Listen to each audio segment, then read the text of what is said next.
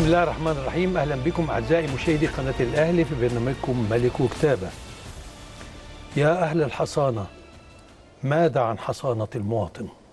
إبراهيم أهلا بك يا باشمهندس واهلا بكم أعزائي المشاهدين ولقاء الخميس في موعدكم مع ملك وكتابه.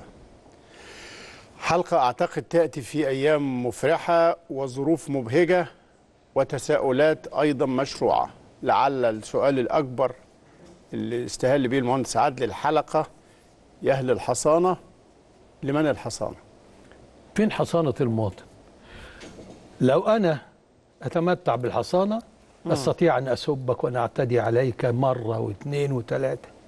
وإذا جرؤت بالرد علي فأنت مهدد بالحبس وإعمال القانون. أين حقك؟ بعد أن انتزعت حقك. حد يجاوب لنا على السؤال ده. هي الحصانة.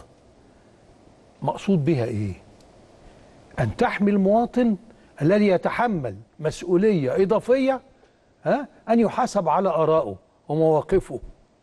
وليست أبدا أنها بتديله رخصة للاعتداء على الناس. فمن يفعل هذا؟ قولوا لنا الطريقة اللي نتحاسب بيها. هل هناك جهة في البرلمان نستطيع أن نلجأ إليها؟ مثلا مثلا يقولوا لنا لا ما تحققوش معاه الجأوا لنا. نقول لهم حاضر عينينا الاثنين.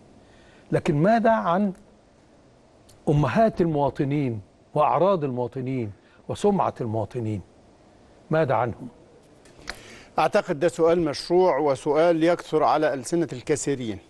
فكرة الحصانة البرلمانية لم تعطى لأحد أو الحصانة عامة أمام القانون لم تعطى لأحد إلا لأعضاء مجلس التشريع مجلس النواب وأعطيت لهم فقط تحت قبة البرلمان. لا والهيئات حتى القضائية يتمكن كل من يتمتع حتى. يتمكن عضو ال ال ال ال البرلمان من مواجهة السلطة التنفيذية ومن عرض آرائه بمنتهى الحرية وبمنتهى القوة في إرساء القانون.